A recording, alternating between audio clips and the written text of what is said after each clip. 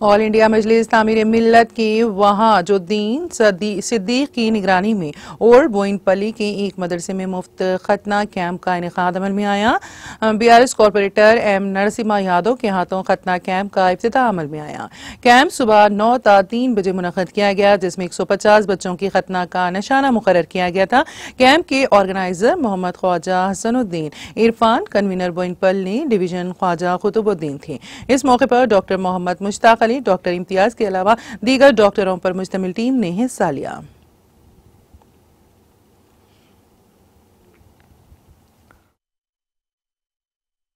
वबरकत मेरा नाम इरफान है। मैं कुलिंद मजलिस तामीर मिलत का एक कारकुन हूँ, ख़दीम बोइन पल्ली का। हर साल की तरह इस साल भी ख़दीम बोइन पल्ली में तामीर मिलत की जानब से ख़तना का फ्री ख़तना का क्या मुकर किया गया है।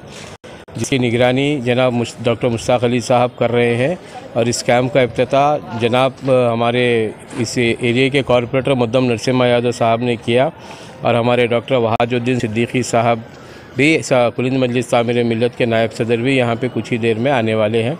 इस कैंप को करीब 25 साल से बोइनपल्ली में किया जा रहा है और काफ़ी अच्छे पैमाने पे यहाँ पे कैंप होता है और काफ़ी कामयाब कैंप है।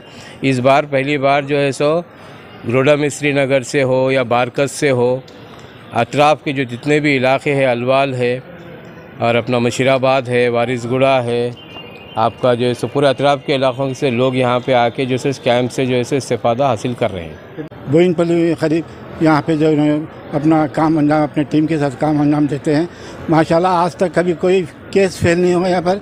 और लोग जो है, बहुत दूर दूर से आते हैं मेरठेल तुपरान, अलवाल और दूर दूर से यहाँ पर आते हैं लोग। और खुशी के साथ जो है, काम लेके जाते हैं। ये हमारी तंजीम का काम है। हम लोग इसके अलावा भी जो है, कई तंजीम के ज़रिए यहाँ पर कई काम जो है, मैं जो है यहाँ पर अपने एरिए में जो है, मिलत के लिए काम करता हूँ यहाँ पर। ये मेरा जो है एक मौका मेरे को मिला है काम करने के लिए। इसलिए मैं अल्लाह से शुक्र अदा करता हूँ कि और मेरे से काम लीजिए